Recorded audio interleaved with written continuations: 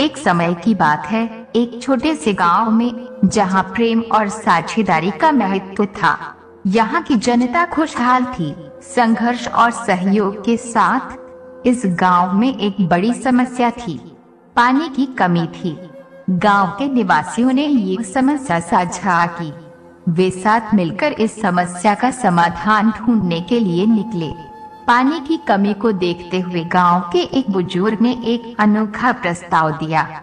हमारे पास एक चमत्कारी पेड़ है, बुज़ुर्ग ने कहा, जो पूरे गाँव को पानी से भर देगा। पर उसका फल सिर्फ़ एक व्यक्ति ही तोड़ सकता है। गाँव के लोग हैरान थे। कोई भी उन्हें बता नहीं सका कि वो व्यक्ति कौन है।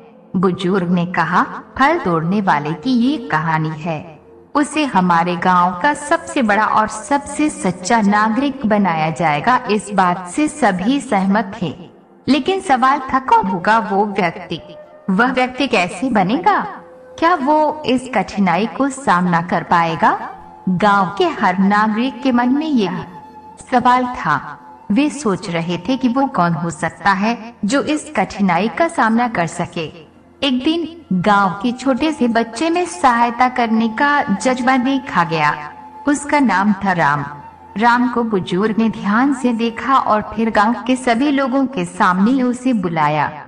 राम बहुत चौंक गया। उसने कभी सोचा भी नहीं था कि उसे इतनी महत्वपूर्ण काम में शामिल किया जाएगा। राम बुज़ुर्ग ने कहा, तुम्हारी मासूमियत, तुम्हारी सहायता और तुम्हारा साहस हमें यकीन दिलाता है कि तुम वो हो सकते हो जो इस कठिनाई का सामना कर सकता है। राम ने गर्व से सिर ऊँचा किया।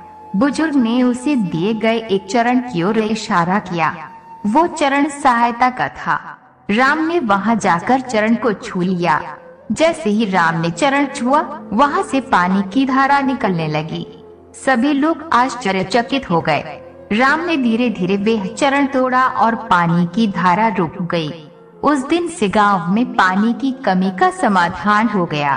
राम को गाँव का सबसे सच्चा और सबसे बड़ा नागरिक घोषित किया गया। राम को बड़ी गर्व और खुशी हुई। वह जानता था कि उसने अपनी सहायता से गाँव की समस्या को हल किया था। लोग उसे बधाई देने आए और उसकी प्रशंसा की। इस कहानी से सबक ये है कि हमारी सहायता और नेक काम हमारे आसपास के लोगों की समस्याओं को हल कर सकते हैं। बस हमें उन्हें समझने और समर्थन देने की ज़रूरत होती है।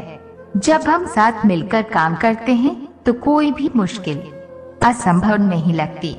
ये भी एक छोटी सी कहानी, जो हमें ये सिखाती है कि हमारे छोटे कदम भी बड़ी समस्याओं का हल कर सकते हैं।